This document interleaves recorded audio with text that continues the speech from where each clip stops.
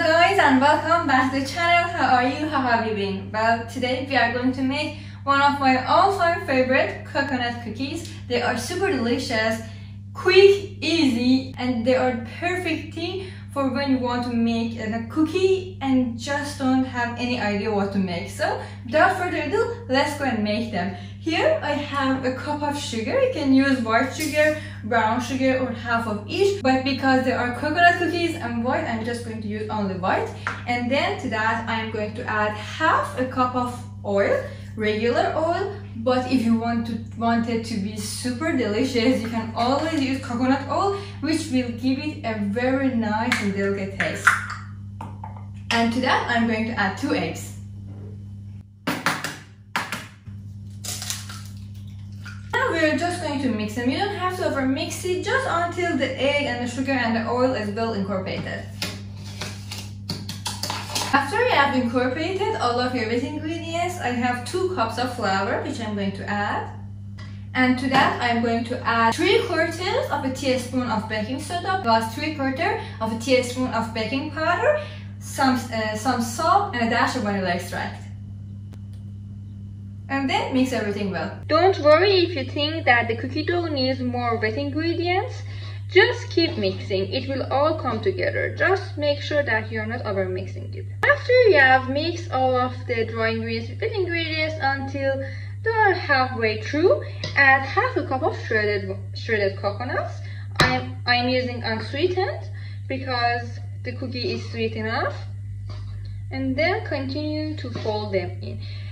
Keep in mind that I'm not using electric mixer at all because if you use electric mixer at this point, the cookies will be very tough, like brick hard, and we definitely don't want that.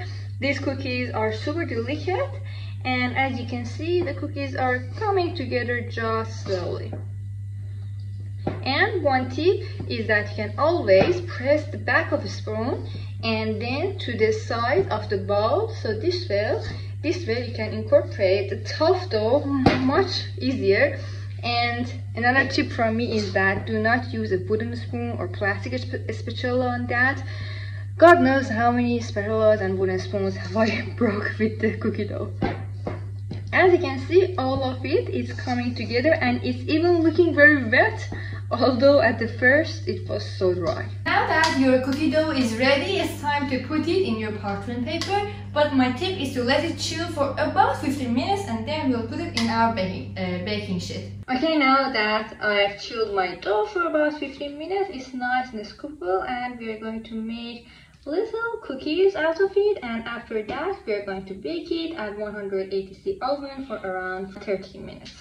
Okay, so our cookies are right out of the oven. You can see I have oven mittens because they're so hot and they have just baked to perfection and yes, and I picked one to taste if they're good and it was so hot. Well, here is our coconut cookies. They are so good, like a piece of heaven, melt in your mouth, just enough coconut flavor, just enough sweetness, and the easiest thing you can make. If you enjoyed this recipe or even hang out with me, I would love it if you could consider subscribing to the channel or share it with your friends. And as always, please let me know in the comments what other recipes do you want me to make for the future videos. And for more quick videos and recipes, you can watch my shorts part here, which I post almost daily there, and also my Instagram page right here, which you can follow me. And before you go, wait, I have a video prepared for you right here, which is my coconut macaroons, another coconut delicious recipe, and go watch that, and I will see you later in another video. Bye!